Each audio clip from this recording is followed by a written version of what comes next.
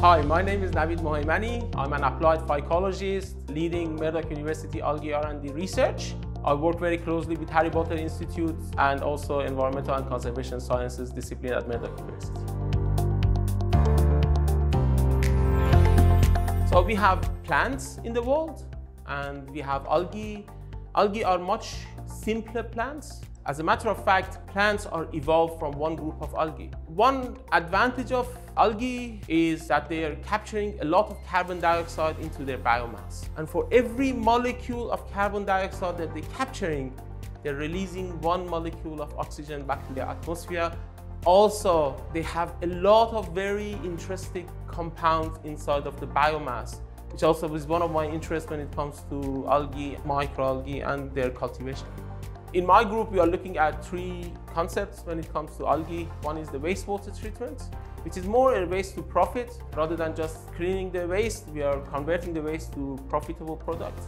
Wastewater treatment is very expensive. And also most of the wastewater treatment processes are not necessarily doing very good when it comes to removing inorganic nitrogen and also inorganic phosphate.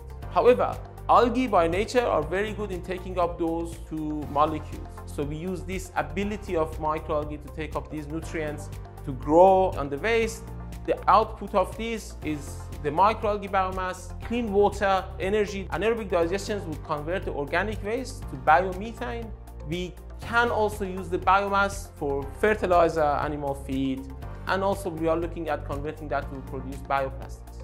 We are also very interested in producing high-value products from saline microalgae, especially in states such as WA. We have issues of having access to agricultural land and also fresh water.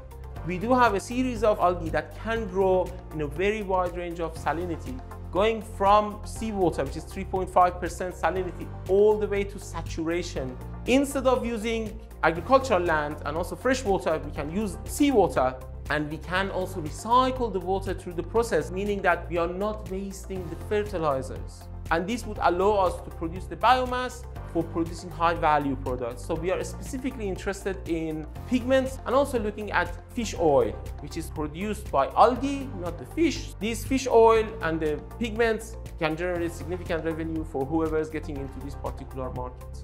There are two types of cultivation systems for algae. There are open ponds and closed photobioreactors. One of the advantages of closed photobioreactors is that we can get much more productivity from microalgae. One of the problems with the closed photobioreactors is the fact that these systems by nature heats up fairly quickly. And the reason is that we contain the liquid in a fairly enclosed system. We spent a lot of time and effort to develop a system which no longer required cooling down and that is the outcome of the work that we've done in the last 10 to 15 years.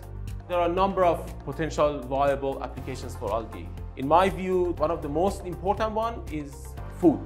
And what we need in this planet is to produce a cheap source of protein for the future generations. The algal biomass that we generate and grow on the wastewater contains up to 50% protein. Why can't we use this protein to produce food for human consumption? There is also a lot of opportunities on algae and algal cultivation when it comes to renewable energy. There is cost associated with this, but we all know the cost of energies keep going higher. So there is, I think, opportunity in the future to look at algae as a source of fuel and bioenergy.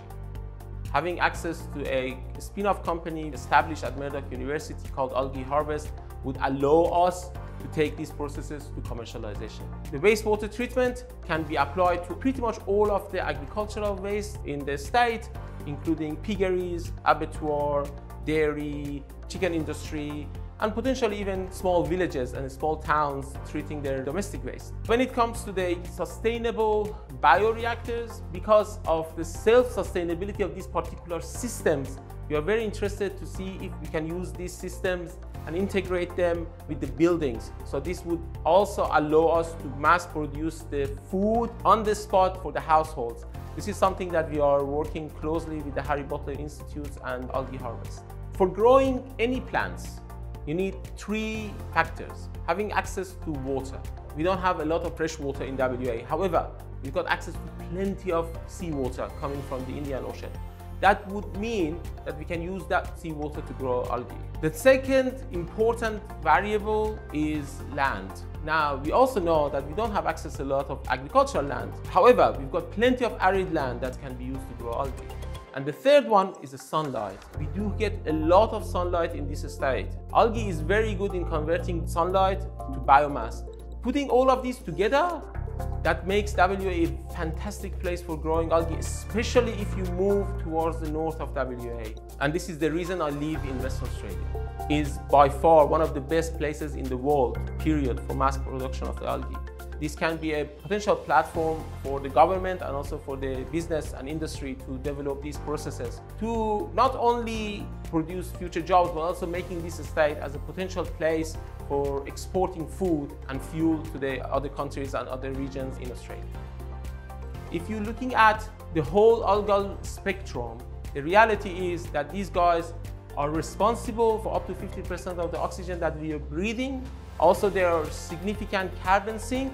Every kilogram of algae contains 1.8 kilogram of carbon dioxide. And most importantly, these are primary producers in the ocean.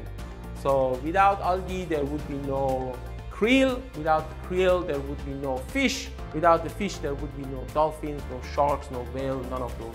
So they're extremely important for the planet.